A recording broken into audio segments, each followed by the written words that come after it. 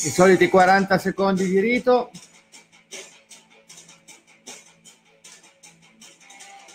Ok, ciao a tutti, volevo appunto sfruttare questa diretta per parlare un pochettino di quello che succederà in Facebook nel 2018. Sapete che ehm, una delle cose che mi preme durante la giornata è appunto cercare di scoprire quello che succederà in Facebook e soprattutto cercare di sfruttarlo al meglio per trarne profitto, per lavorarci, eccetera, eccetera. Quindi eh, incomincio questa direttina, ehm, per chi eh, sarà live mh, tanto meglio, oppure per chi potrà alla fine se andrà a guardare in remoto un'altra volta, non sarà quello certo un problema. Quindi partiamo subito. Allora, cosa eh, cambierà in Facebook nel 2018? Di recente, ovvero meglio ieri, Zuckerberg ha lasciato, ha scritto un post che magari eh, vi linko un attimino, dove ci parlava appunto di quello che eh, succederà, lo metto un attimino nella, nella diretta, quello che succederà, quello sarà il suo impegno e quello di Facebook nel 2018. Allora, il post è questo qui, magari lo fisso in alto, così chi vuole se lo va a vedere, ok? Quindi cosa cambierà e cosa succederà? Allora, innanzitutto eh, partiamo dal presupposto, Facebook è nato per connettere le persone, quindi amici, familiari e interessi. Quindi in realtà lo scopo, la filosofia di Facebook è permettermi a me come persona di stare con i miei amici, con i miei familiari e guardare solo cose che mi interessano. Quindi se sono appassionato di barca a vela, dovrò stare più possibile a contatto con cose di barca a vela. Eh, se sono un appassionato di snowboard, sempre è più possibile a contatto con contenuti in linea con i miei interessi, quindi con lo snowboard. Allora, sono tre segmenti separati, amici, familiari, interessi.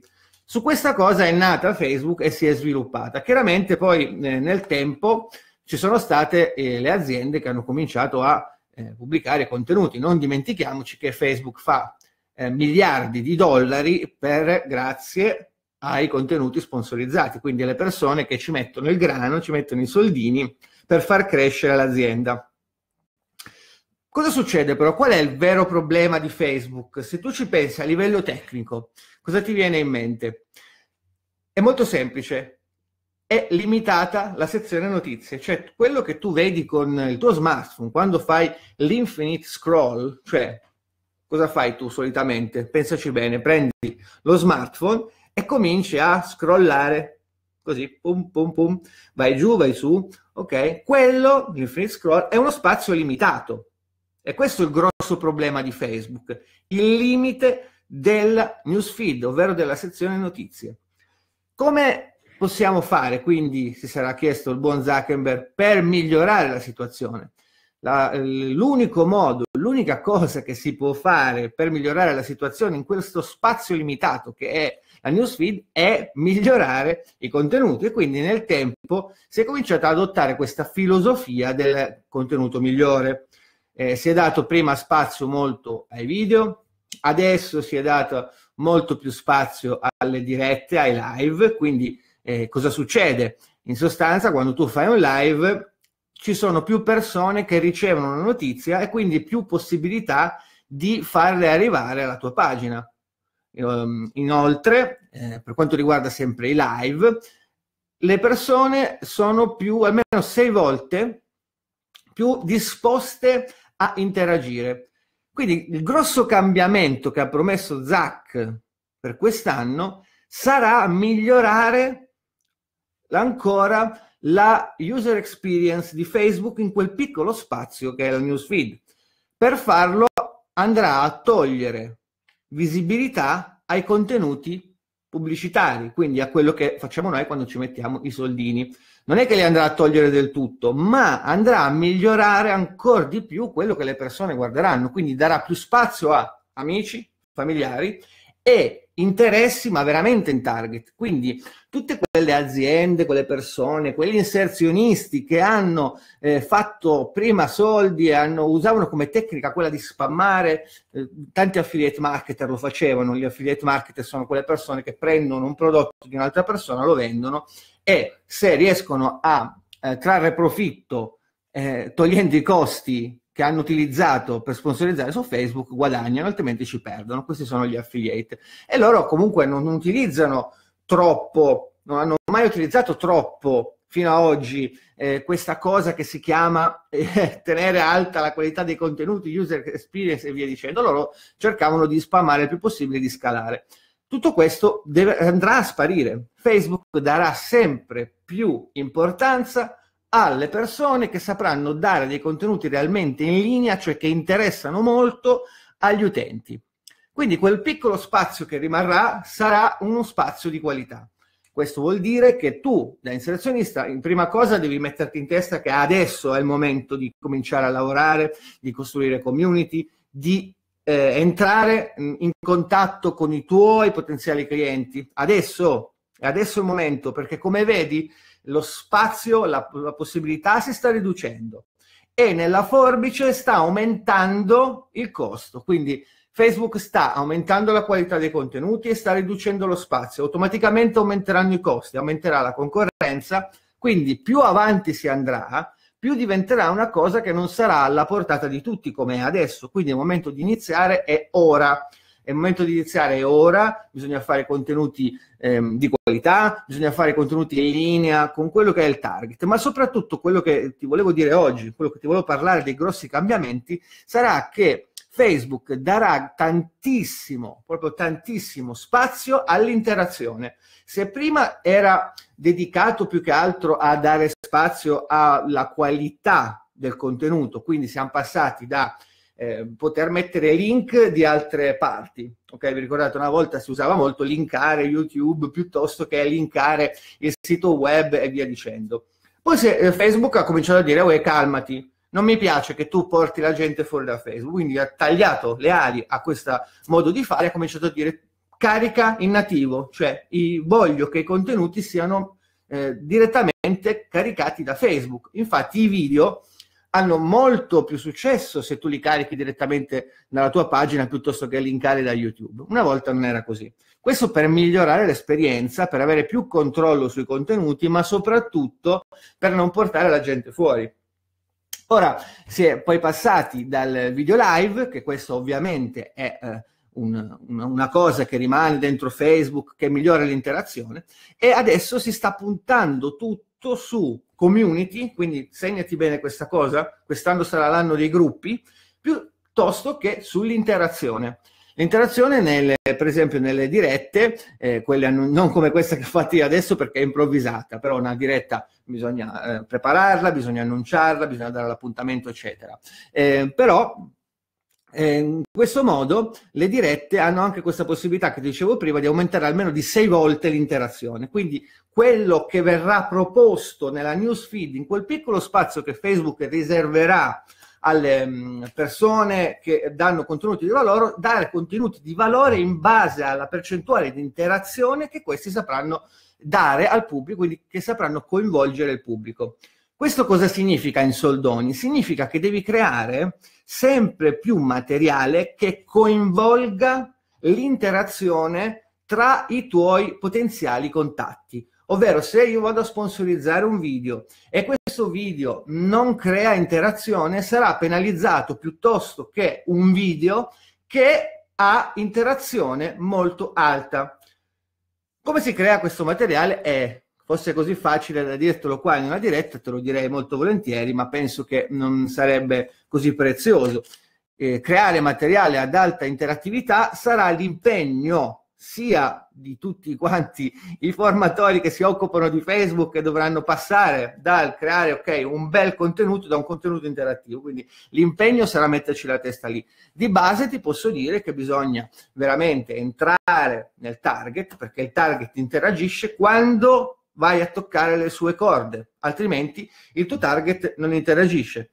Quindi stimolare le conversazioni, sarà l'impegno che tu dovrai mettere in questo 2018 per vincere su Facebook, stimolare le conversazioni.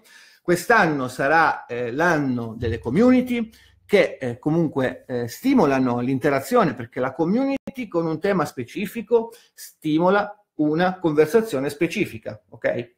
Nel senso che se tu crei un gruppo eh, con un monte dentro di persone che non hanno gli stessi interessi, difficilmente saranno stimolati a conversare.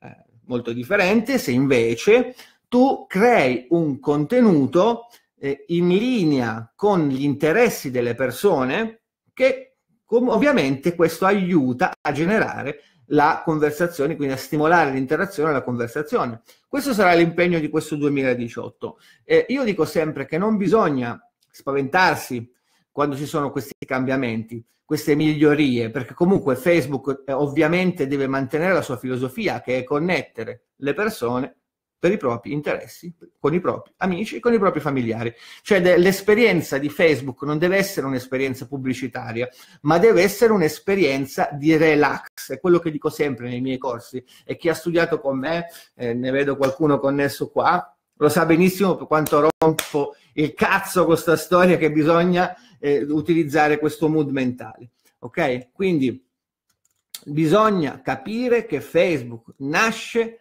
per far stare le persone in relax, cioè la gente va su Facebook per cazzeggiare, per guardarsi le sue notizie, per farsi i cazzi suoi con eh, i suoi amici, con il suo amante, con eh, i suoi interessi, con eh, i suoi familiari. Ok? Non ci va per vedere pubblicità. Ma qual è la regola numero uno del marketing? La regola numero uno del marketing è far capire che il marketing non c'è e metterlo sotto forma di qualcos'altro. Quindi la mimetica che tu gli metti al marketing per non far capire che è marketing la stessa Facebook che dice questa cosa tanto bella, in realtà nasconde, cioè la sua mimetica è che è sotto un'azienda miliardaria di pubblicità. Ma per... Eh, ciao Laura, ciao Caterina, adesso vedo altra fatica Tania, certo, eh, Sadda faticà e Sadda subì e Sadda morì qua. Bisogna, ehm, come dicevo prima, stimolare, stimolare l'interazione e soprattutto non far capire all'utente, cioè la dico brutta, te la metto proprio brutta qua sul tavolo, ma non bisogna fargli capire che siamo lì per vendere. Siamo eh, su Facebook per aiutarli nel loro relax.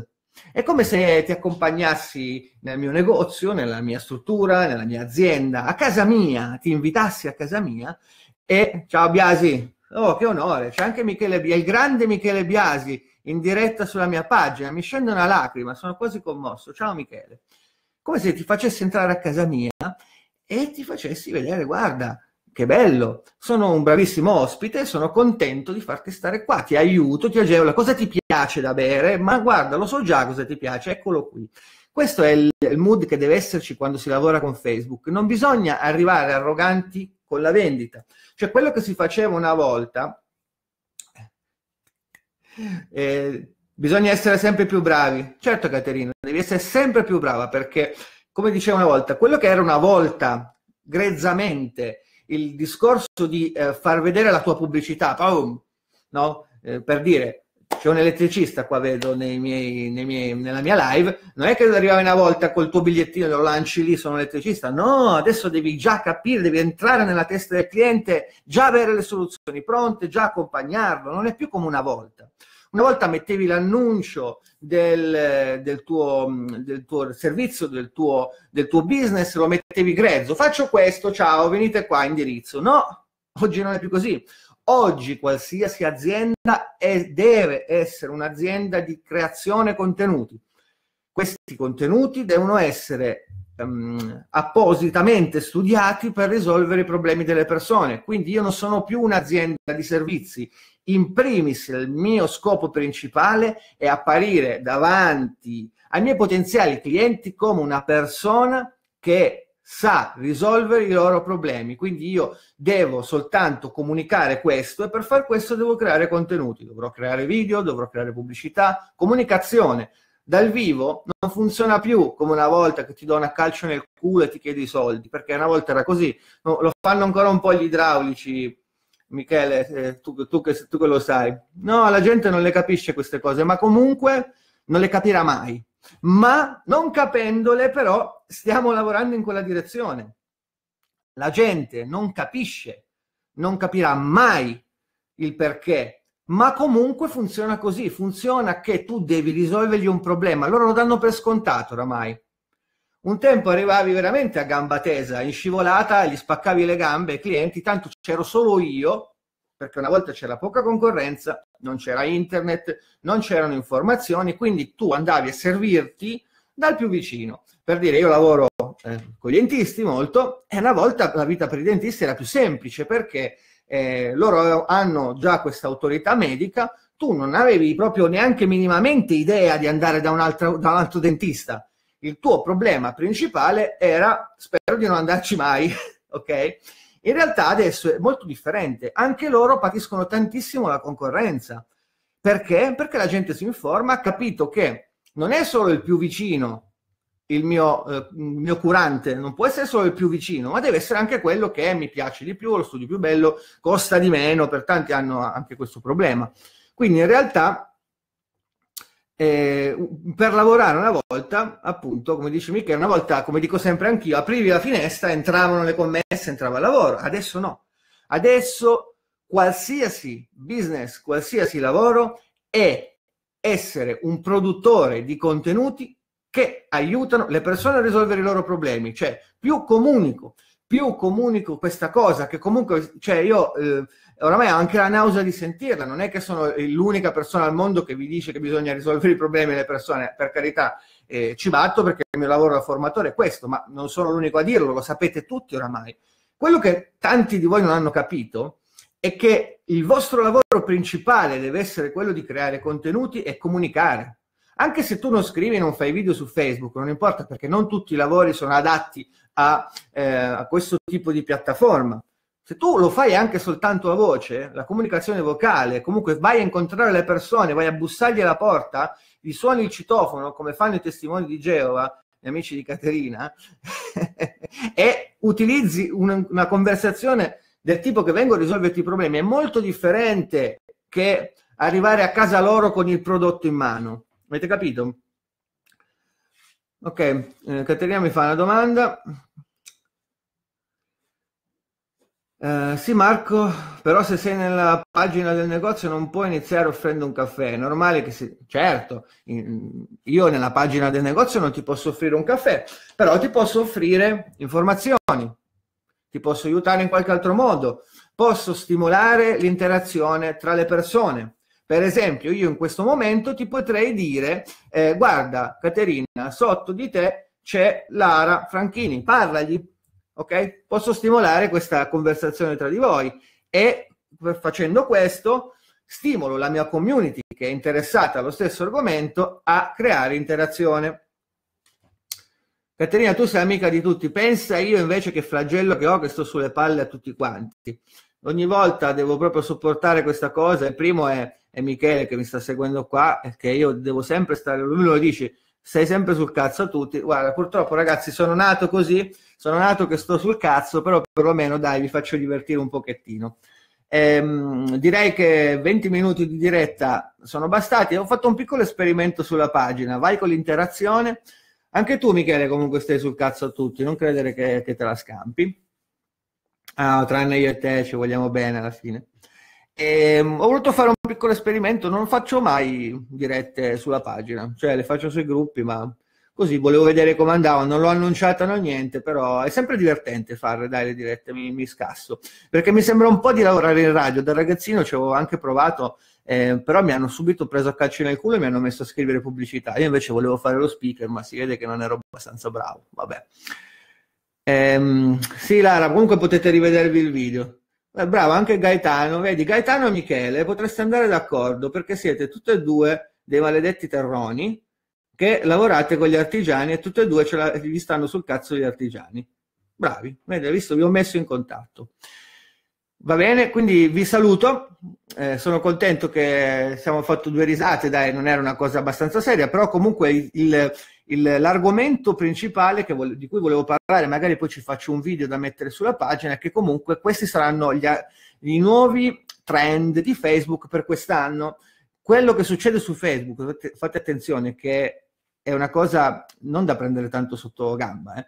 perché Facebook, quello che succede su Facebook cambia le abitudini delle persone. Vi posso assicurare che grazie a Facebook eh, si è sviluppato l'iPhone, grazie a Facebook si è sviluppato lo smartphone in generale, cioè prima non era così, è stato Facebook che l'ha portato su, ok?